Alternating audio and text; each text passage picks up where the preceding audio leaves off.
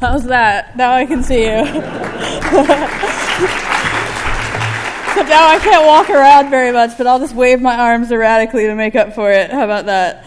All right, so we're going to talk about bypassing the Android permission model. And this is kind of an old talk, and you can blame this little conference that you may or may not have ever heard of. It's this small, obscure little conference that nobody cares about called DEF CON that's happening next week, or not next week, but next month. And so I saved my new research for them for which I completely regret because they rejected it. So I would love to show you new research, but this was already on the program. So if you sit through this, I promise next year I'll show you all O days for the entire hour if you invite me back. So give me good reviews on your little sheets if you have them. So anyway, I'm Georgia and I do smartphone stuff and I taught a class earlier this week and I own this little company called Bulb Security. So let's talk about the Android. So does anybody here have a smartphone? Smartphone, hands up.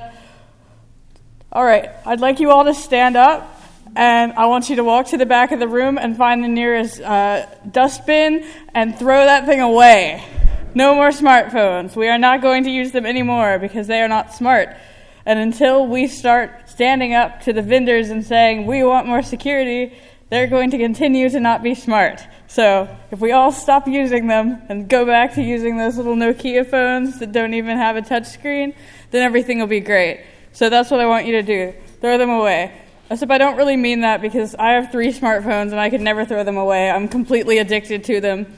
Being here in France and not having data on my phone except when I'm on Wi Fi is killing me. I'm starting to get the shakes from not being near my smartphone at all times.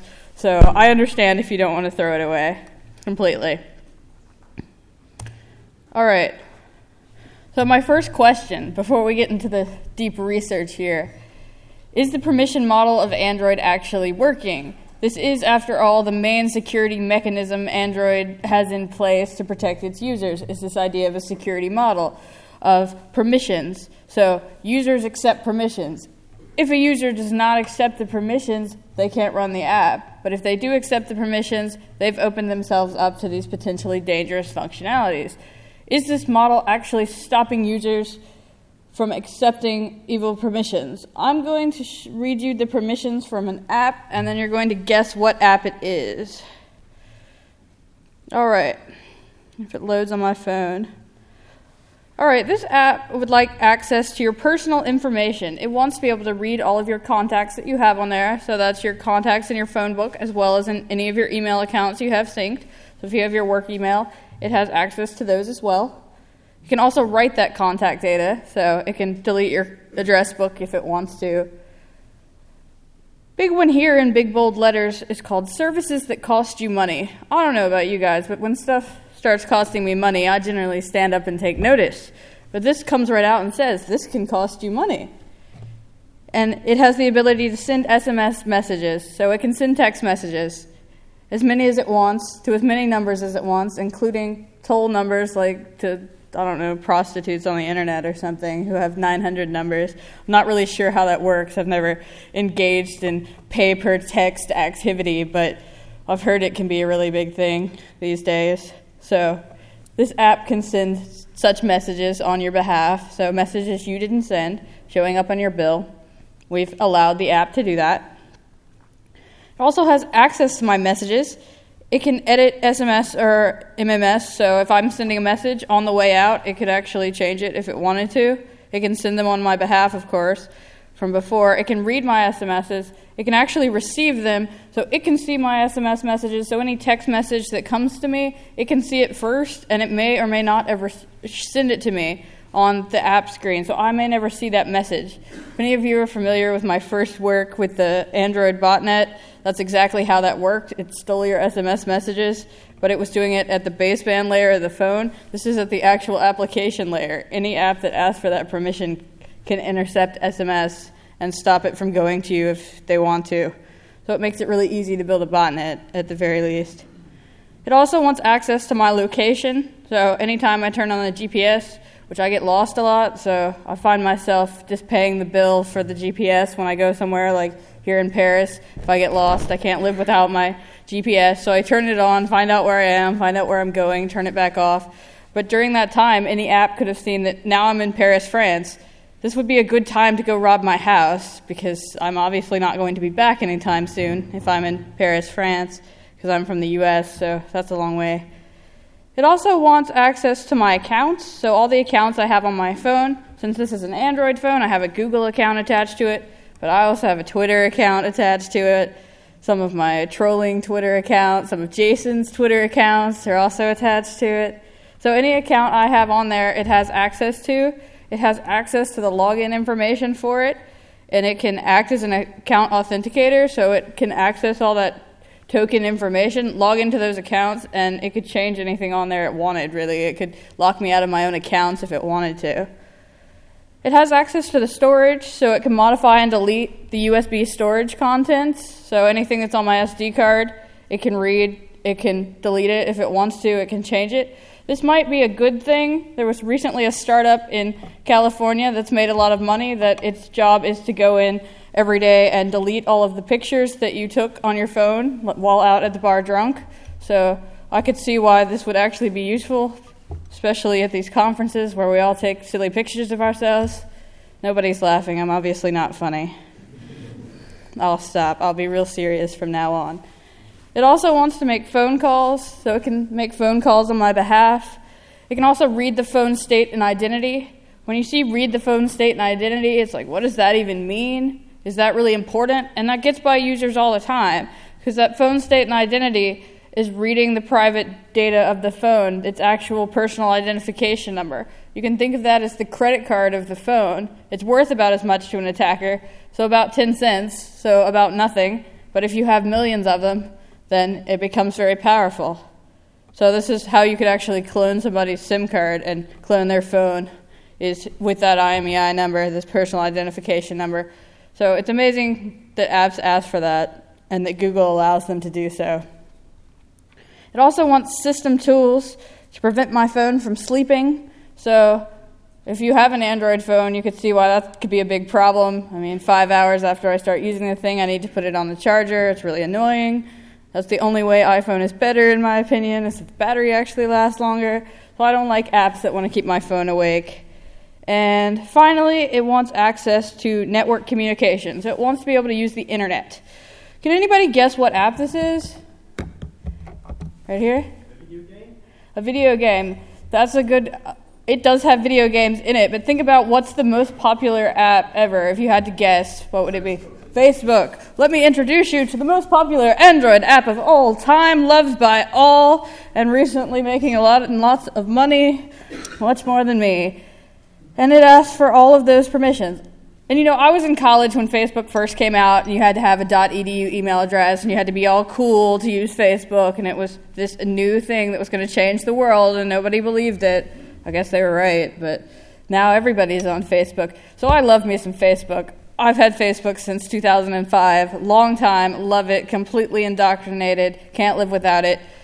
But I've had it on my computer since 2005. It needs access to the internet it can't send SMS messages. It can't look at my GPS. It can't act as an account authenticator. At least I hope not. You never know with Facebook. And it still works fine. So why does it need all of these permissions to work on my phone when it can work over the network just fine on my computer? Theoretically, apps are supposed to be like dumbed down versions of things that are able to work on mobile devices, not all this extra stuff. So I always pick on Facebook. I have to say that I've read all of the source code of Facebook, more on that later, and I will say that they're not doing anything particularly evil. Not anything with permissions, anyways. Most of these they don't even use, they just ask for them, because that seems to be what developers do. They just ask for every permission available. I always wondered why that was, but since I became an Android developer, I've realized exactly why that is. It's because if you forget to ask for a permission, it doesn't do a very good job of telling you when it dies and crashes because it doesn't have a permission why it did it, and you can spend a lot of time debugging when it's something simple, like you didn't ask for the permission to do it. So it's just easier as a developer to ask for everything and then you forget to take it off at the end. So I think that's why this happens. But so basically, if this is the most popular Android app, most downloaded, most installed, I would say no. The answer to my question is absolutely not the permission model is not working. Because if users will accept this from Facebook, they're going to accept it from anybody. They're going to accept it from me, and you should never accept unnecessary risk from an Android hacker. So before we continue, I want to spend like a little minute talking about Bouncer, which is the newest and greatest thing in terms of Android App Store security. I guess it's called Google Play now. They changed the name of their store, but they now have something that supposedly and to some extent does try and catch malware in the Android store. However, catching malware is really hard. This is a problem that has never been solved. Have we seen antivirus lately? Does it catch everything? Of course not. And neither does this. But its job is when you submit something to the Android store, what it actually does is it runs some dynamic and static analysis on it, but it's completely bypassable a recent talk at SummerCon in New York went through all of this. Charlie Miller and Jon Oberheide, you know, the Android hackers who have been banned from every marketplace imaginable. They are not even allowed. Charlie Miller's wife couldn't sign up for the Android store. That's how bad it is. They do so many evil things, but they were able to bypass it very easily you can tell that you're running in Bouncer. You could just do VM awareness the same way malware does on a PC. If you're running in a VM, don't do it. So detect you're in Bouncer and then don't do anything evil. Also, it only runs it for five minutes. So don't do anything evil for six minutes and you'll get past Bouncer. And it isn't going to flag something just based on your permissions. I submitted something to Bouncer that asked for every single permission but didn't actually do anything evil. It went right through. So Based on the permission model, that's not going to get you caught by Bouncer. You're still going to get through. If you submit something like Droid Dream, then yes, you may get caught. I did send just as proof of concept exploit, but it was a known exploit, and it did catch it as well. It should because uh, Lookout and other antivirus programs should. So it needs to be at least that good, or else it would just be embarrassing. So Bouncer is not very mature yet. You should not be afraid of Bouncer. I know that the malware writers are not, so that doesn't really change our story here, despite the fact that it came out after I wrote this stuff. All right, so naturally, I got to thinking about apps after I looked at Facebook, and I was like, really, what's going on here with all these app permissions?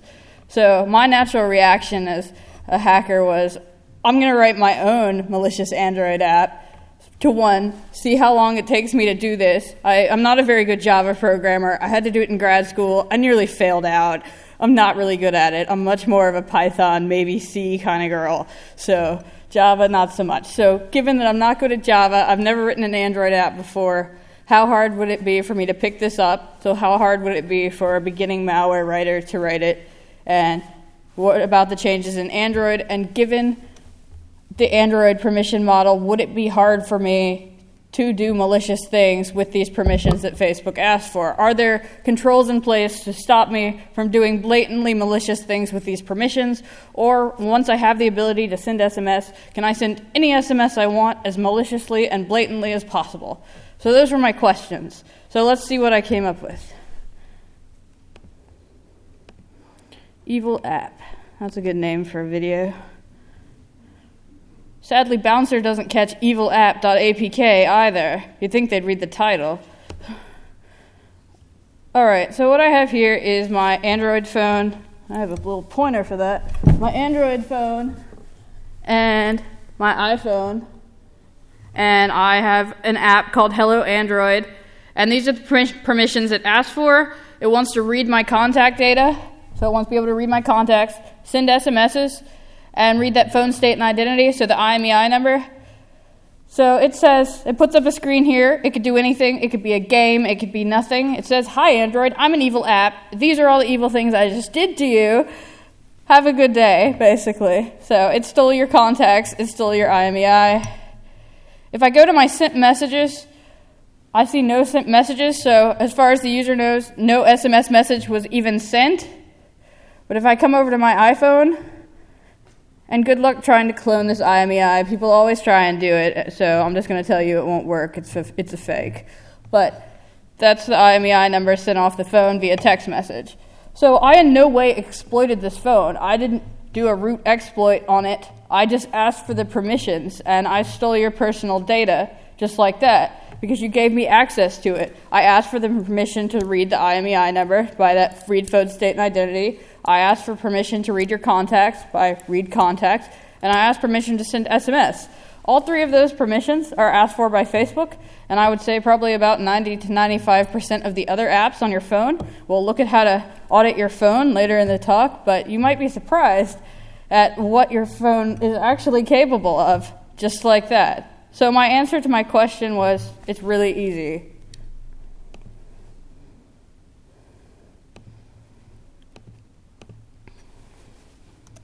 All right. So again, my three permissions, which is a lot less than Facebook.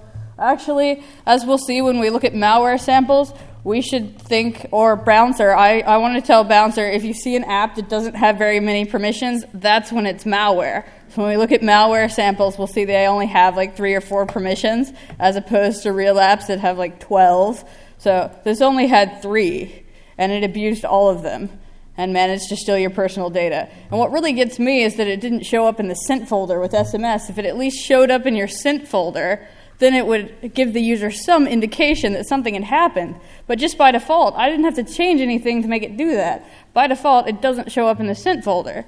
So I didn't really do anything malicious here. I just used the functionality that was built in. I went on Google and said, How do I send an SMS on Android without alerting the user? And they're like, Oh, that's easy. Just send an SMS. It won't alert the user. It's like, Okay, that's easy. So, yeah, the answer is very, very simple. And we didn't have to root anything again. We didn't exploit it. We just used the permission model. But some of you may have seen things like this. We've got Super One Click over here, Z4 Root over here. As a side note, these are not malicious programs. Both of these programs have been posting their source code on the internet since the beginning. You can audit all of it. You can see what they're doing. They do exactly what they say they're going to do. They exploit your phone, and then they install super user, and then they go away. They don't run any malicious payloads of their own. They don't call back to a command and control server. They're not out there to hurt you which is good because a lot of the rooting programs we're going to look at actually do. And this is where we really get the users because everybody wants to root their phone. It's cool and awesome to have control of your devices. As well, you should. If you pay all this money for the device, you should be able to use it as a toaster if you want to. And you should certainly be able to tether off of it I don't know if you guys have this problem here, but in the United States, all of the carriers, they don't want to let you run your computer through the internet connection of your phone without paying more money, and I think that's ridiculous. So everybody has to root their phone in order to do so for free. So everybody's rooting their phone because hotel internet is expensive. If you've been to this hotel, I'm sure you've noticed this. Nine euros a day? Really? God. So, yeah. You want to use your phone internet connection and you want it to be free. So you root your phone with one of these programs out here. The problem is your average end user doesn't really know how to do research on what are the right programs for me to use. If I go to superoneclick.com, what if I end up at super one click with a zero in it and get something that looks an awful lot like super one click? Since the source code is available, I can just download it, repackage super one click, but then after it does the rooting, installs super user and gives the user exactly what they want, root permissions, so they can tether and they don't have to deal with internet fascists anymore. Then it does something else malicious in the background. It steals your information, like I just showed, or it calls back to command and control server and becomes part of the botnet. Again, all completely oblivious to the user here. The user won't see this happening. They make it so easy for that so there's not really anything to stop anybody from putting out a root. One example of a malicious root that you may have heard of, this was in the news a lot. It was not the first malware outbreak for Android, but it was the first that showed up in the official Android marketplace, which we all know is so, so secure, because before they had Bouncer back then, there wasn't really anything. You could upload any malicious thing you wanted. And before this even came out, before Droid Dream happened, like almost a year before Droid Dream happened, some researchers did a talk and said, you know, we can upload anything we want to the Android market. We can have it run new code. We can have it call home and get new code at any time, make your phone part of a botnet, and make it really easy to do this. But nobody listened and said that would never happen. Nobody's ever going to do that in real life. So then Droid Dream happened, and people finally started to wise up. Not that anything's changed really. You can still put malware in the Android market. You just can't run any malicious activity for five minutes. So, are we moving in the right direction? Yes. Have we gotten there? Certainly not. So, Droid Dream just looked normal. Uh, this is bowling time. There were about 15 variants. Some of them included adult websites, so I used the bowling time one that's just a game. Maybe I should use the adult website one, who knows. But so you could either play a game, find a date, various other things, depending on your variant of Droid Dream. These just look like normal apps, because in fact they were normal apps. Basically, the people who wrote Droid Dream reversed a bunch of apps that were on the market and rebuilt them with something malicious in them. Of course, if you run Droid Dream now, if you download one of these variants from a malware site for analysis, any of your antiviruses, like Lookout here, will immediately say, This is Droid Dream. You should not run this. Uninstall, please. As well, it should, but it's also a two year old piece of malware, so I certainly hope so. So, as I said, I've been telling Google this for ages and they don't believe me, they just laugh at me, but you can tell when a, an app is malicious based on the permissions. Droid Dream only asks for four. That's not normal for an application. They always want about 12 to 15. So you can really tell when somebody's malicious. I'm completely kidding, but it's kind of true. This does seem to be the case. So Droid Dream asked for the ability to use the internet, so it needed to check in for its command and control server when it first installed. So it wanted to be able to use the internet. It wanted that read phone state, so that's to read the IMEI number. It actually checked in using the IMEI number, which a lot of apps do, which is why they all ask for it, and it's a really bad practice. I mean, if, if you were signing up for a website and you knew for a fact that they were using your credit card number as the unique identifier on you, that when you logged in, it had that in the session, would you think that was a good idea? No, you'd think that's a terrible idea. But that's exactly what a lot of app developers do, and Google does nothing about it. They're like, what's the only unique way to identify the phone? Oh, the IMEI number is always unique. We'll just use that. That's terrible. They shouldn't do that. It's like using the credit card. But Droid Dream did that, but of course, no one thought anything of it because all the apps are doing that, really. I can't sit on this thing anymore. Making my knees hurt too much.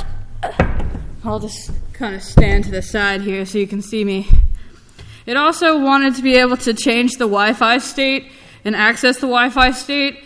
And those two permissions were just so it could run one of the exploits. One of the exploits that it tried to run needed to toggle on and off the wireless in order to make the shell hit.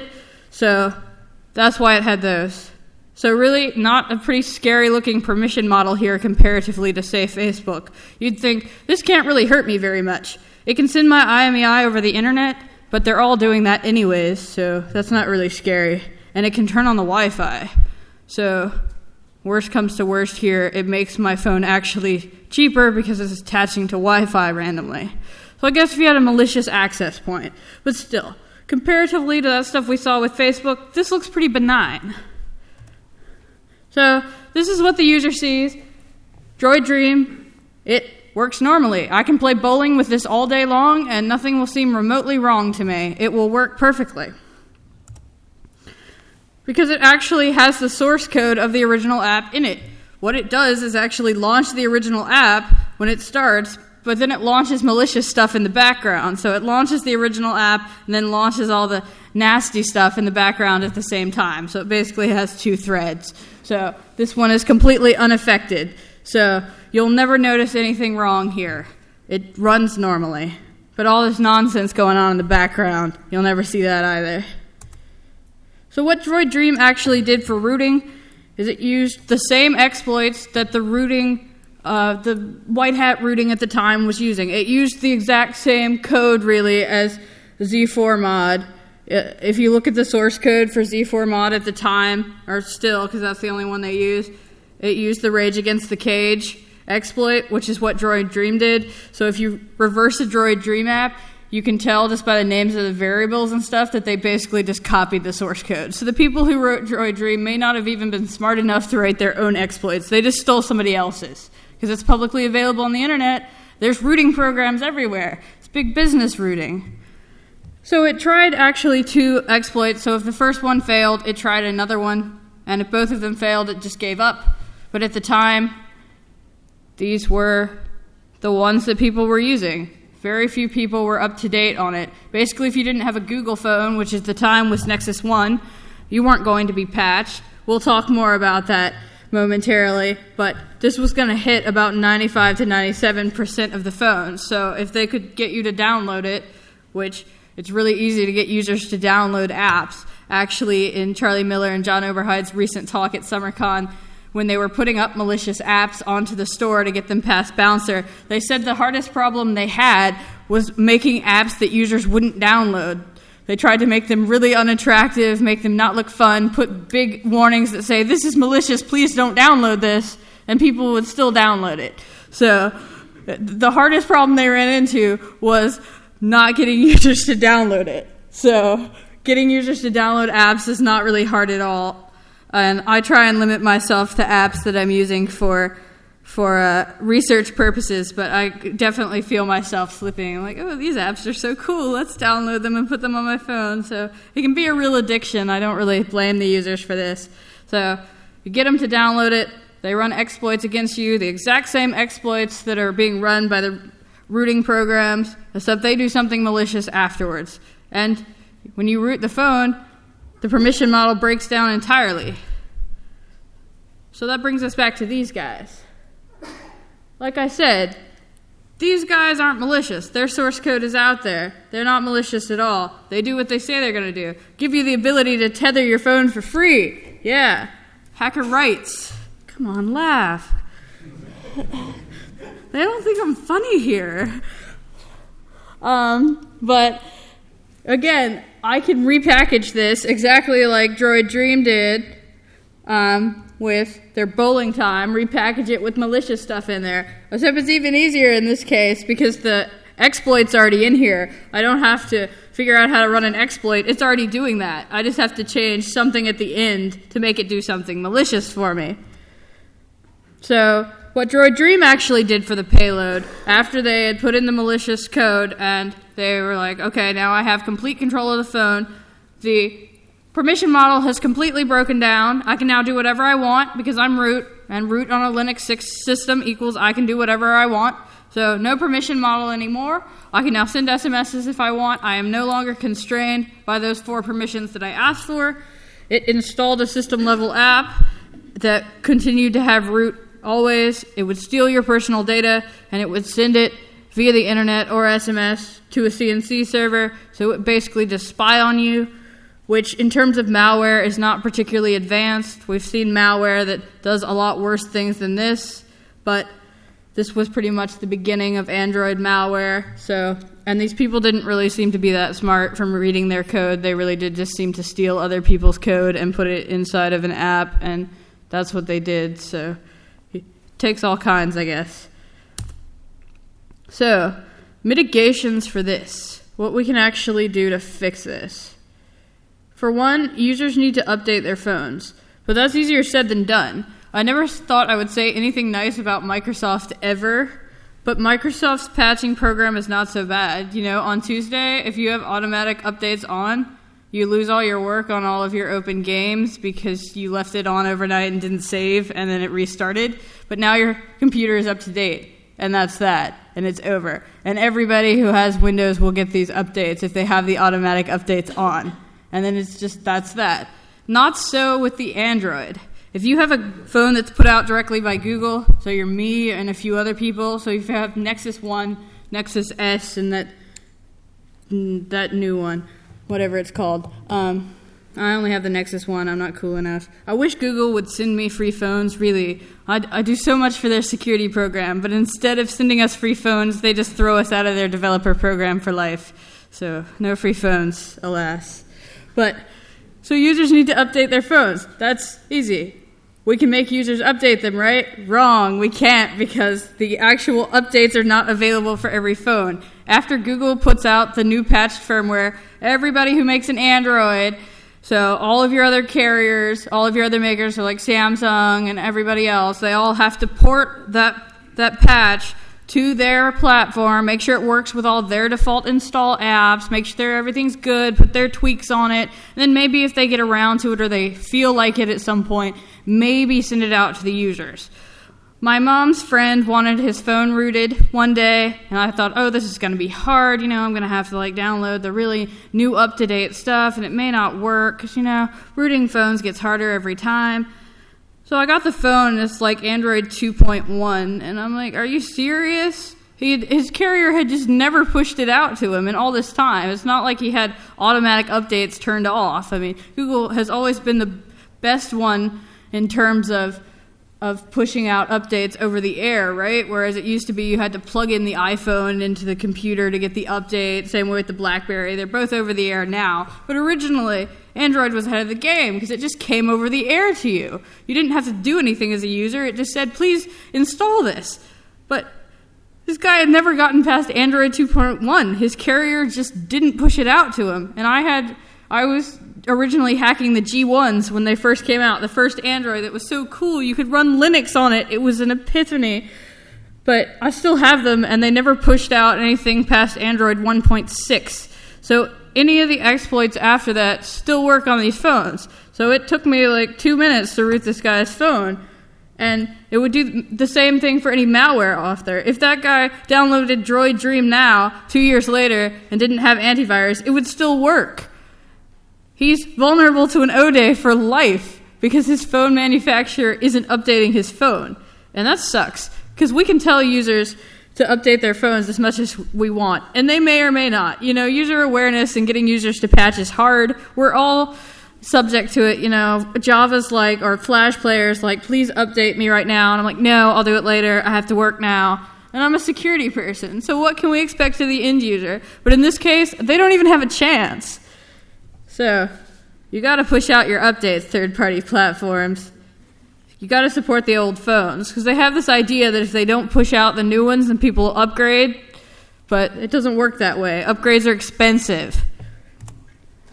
So, so far we've talked about this guy, little evil, malicious android in the background who's out there to do malicious harm to you and steal your data and run up your phone bill and otherwise harm you in any way imaginable. But now we're going to switch gears and talk about this guy. Your average developer has heard these stories about people who put apps up on the Android market, sell them for like a buck, they get millions and millions of downloads, and then they get to retire to a Caribbean island and they don't have to work in IT anymore, helping their end users get on the internet and access Facebook every day at work.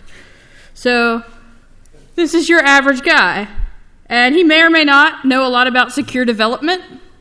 And even if he does, Android's a little bit different. Even if you're excellent at stopping SQL injection, you've written some really great web applications that have no SQL injection, and you're, you've taken my class, so you know all about buffer overflow exploits, and you can stop them from happening. So even if you're used to the regular secure coding, as we're going to look at now, there's a whole new set of issues here with Android that even if you're a great secure developer, if you just don't think about it, you could fall victim to. And allow evil guy to steal your permissions. So we're actually going to look at evil guys with no permissions that steal permissions not by rooting the phone and making the permission model break down, but by stealing them from our nice little apps here that, you know, we just want to make a buck here. I can get that, you know, it's hard working in IT. So, first off, our first issue is with Android storage. What you might have noticed as I never said, it wants to be able to read items on the SD card. We never asked for that permission because any application on the phone already has that permission. There was recently a no app uh, or no permission app that came out, and it's like, oh no, not another no permission app. Somebody rooted the phone and then showed they could do a shell. But these people were really cool because instead of stealing permissions and such, like being like me and wanting to be all cool, they actually looked at all the things you can access without asking for permission. So there's actually a fair amount of data that isn't considered like a potentially harmful activity. You have to ask the user for things that could potentially harm them. So it's not like Google doesn't know that people are using these things maliciously. But if they don't think it can harm you in any way, the app doesn't have to ask for their permission. So reading from the SD card is not considered potentially malicious. So reading all the data that's stored on the SD card, that's okay. So in your normal Android storage, by default, it's if I made the file, I'm the only one that can access it. We, every application has a different user ID. It's only readable, writable, executable to me, the person who made it. Other applications cannot access my data, and that's good. Except when we store it on our SD card, we run into a little bit of a problem. The SD card is formatted VFAT. If any of you are familiar with VFAT, does anybody know what the permissions are on VFAT? World readable. Everybody can see everything. So no matter what you store there, if I can find the file name of it and I can go through it, you know, I know how to do ls, so, you know, I can read anything that you store there.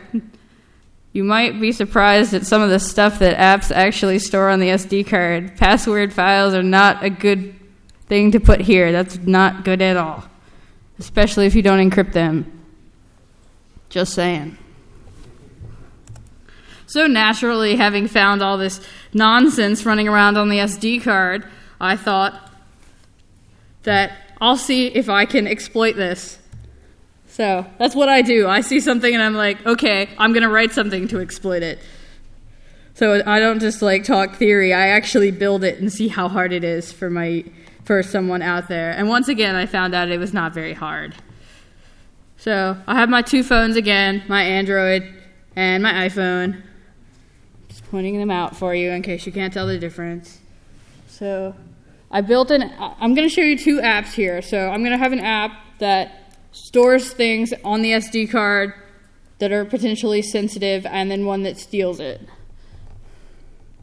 So I go to my settings on my phone, and if I go to apps, you may not know this. If you look at the apps section in your settings, you can see all of the permissions your apps ask for. You think once you install it, you never see it again.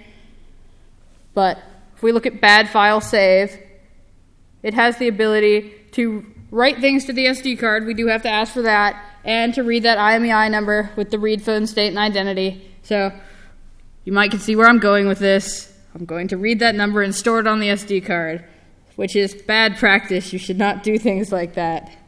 Because then, once it's written to the SD card, any other app can access it, whether or not they have the ability to read the IMEI. So without the ability to read the IMEI, which this does not have, it should not be able to read it, and it certainly should not be able to use its SMS functionality to send it somewhere else.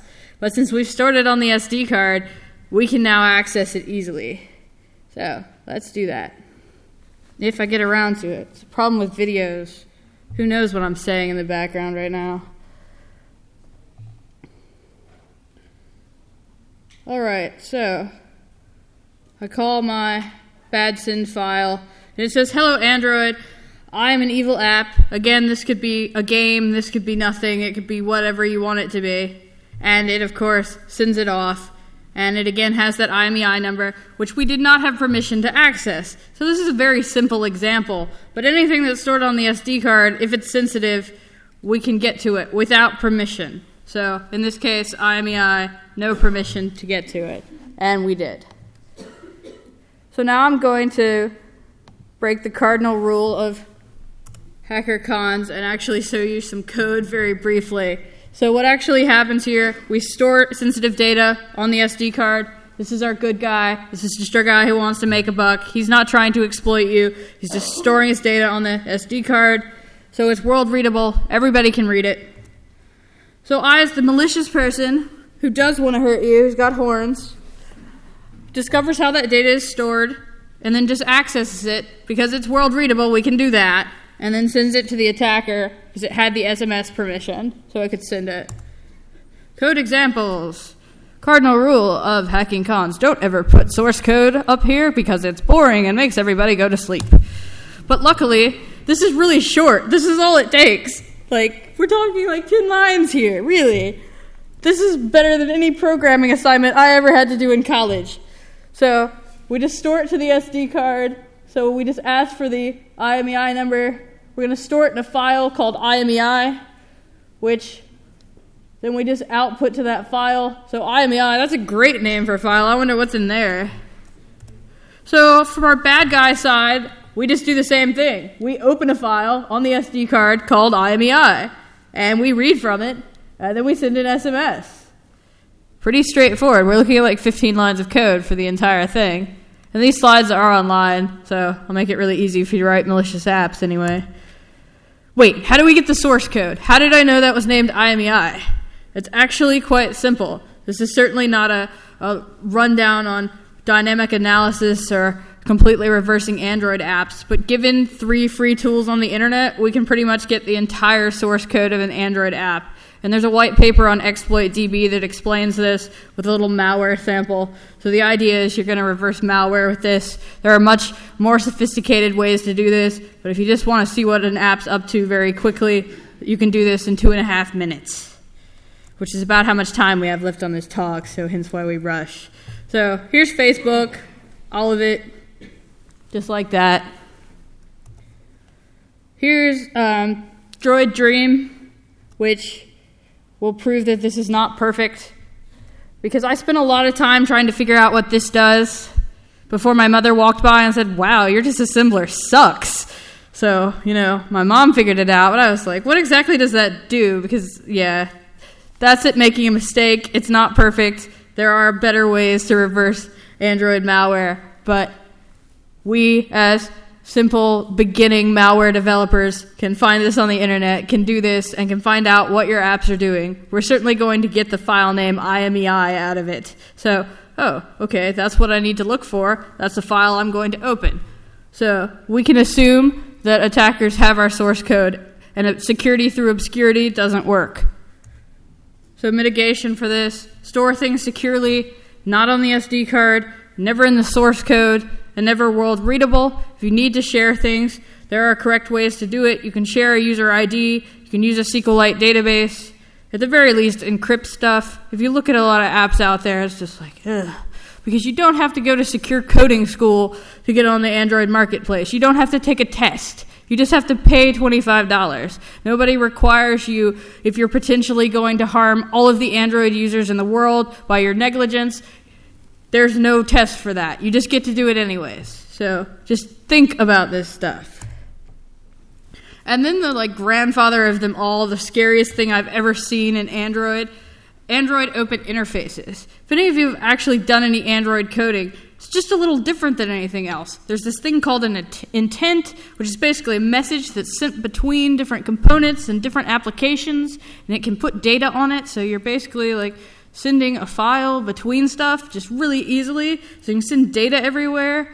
And then you can call everybody else's interfaces. So you've got services that don't even have a GUI. So you can call something and it just runs in the background, which sounds like malware to me. And then there's, you know, the ones that do have the GUIs, the activities. So we're talking about a whole new structure here. So again, you put up something that does analysis on Java code to try and find flaws. If it's not written for Android, this stuff is going to completely get by it. You can't put this in Fortify and expect it to do anything. So the great thing about this is that it makes it really easy for beginning developers like me, like a lot of the people writing these apps, to write really cool apps really quickly with very little learning curve. For instance, the example that Google uses is if I want to use the camera, I don't have to learn how to access the camera to take a picture for my app. I don't have to call the camera and make it take the picture. All I have to do is call the camera app that's already on the phone, tell it, please return the picture to me when the user takes it, and then that's that.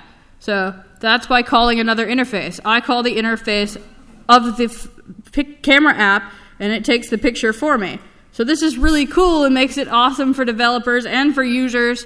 If you play with like Twitter or anything and you take a picture on the Android, it gives you the option do I want to upload it to Twitter, to Facebook, anything else? That's another example. It's just sending it to the interface of the other application and telling it what to do. The question is, what else can I send to those interfaces? What can I force these apps to do for me? So naturally, I thought, well, I'll try. Evil app. No bad interface. There we go. So I have my two phones again. Again, Google should send me some new ones, or at very least some pink cases so they look more attractive. But I've got my Android here and I'm going to look at two applications. after my camera finally focuses the picture. So I go back to apps and I have SMS broadcast receiver, which is not a broadcast receiver. As we'll see, it's actually an activity because it has a UI, but it could be a broadcast receiver and it wants to be able to send SMSs. So it's part of a game. It wants to send your scores over SMS so you can be famous for having high scores. This is normal for games. We also have this thing called SMS intent, which has no permissions whatsoever. So it certainly should not be sending SMS messages. No permission. So I actually call SMS intent. Notice I did not call SMS broadcast receiver, I called SMS intent. But what we see up here is SMS broadcast receiver, which is why I made it an activity so you could see the GUI. What SMS intent actually did was call SMS broadcast receiver. But if it was a background process, which sending SMS messages of your high scores for your games generally would be, would just do this in the background, take your high score, send it to the server, and off you go, you get famous for being the best in the world at Angry Birds, then we just called that and you would have seen nothing. And of course, we get an SMS message because we stole the permission to send SMS. So we called an app that had no permissions, we sent an SMS, because that app actually called an app that had an SMS permission.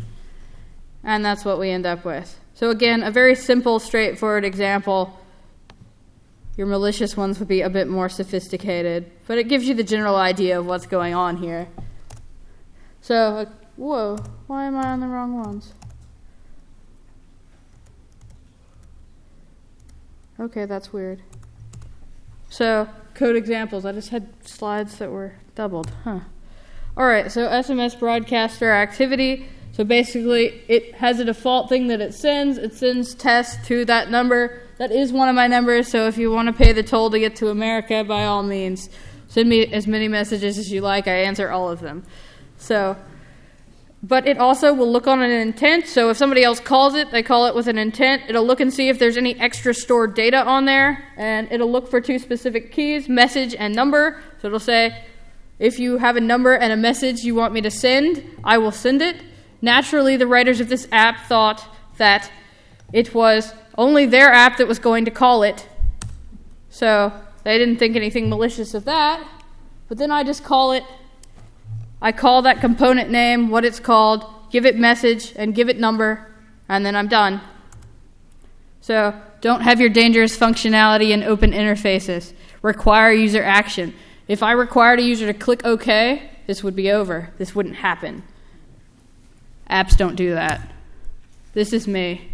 You can contact me if you have any Android related questions or any other questions, and you can text my phone numbers that you saw throughout this if you wish. So, thank you all for having me.